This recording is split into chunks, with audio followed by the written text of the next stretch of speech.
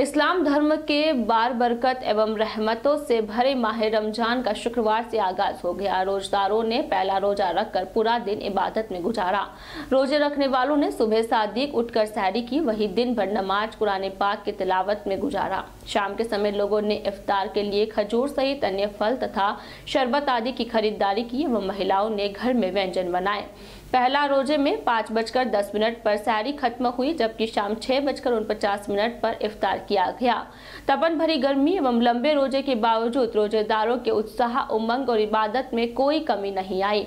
बड़े एवं बच्चों ने पहला रोजा रखकर अल्लाह की इबादत में दिन बिताया। शुक्रवार को पहले रोज़े के साथ ही रमज़ान का पहला जुम्मा भी था। हज़ारों मुस्लिम धर्मावलंबियों ने अपने अपने क्षेत्र की जामा मस्जिदों में पहुंचकर जुम्मे की नमाज़ अदा की और रब की बारगाह में हाथ फैलाकर अमन चैन एवं खुशहाली की दुआएँ मांगी।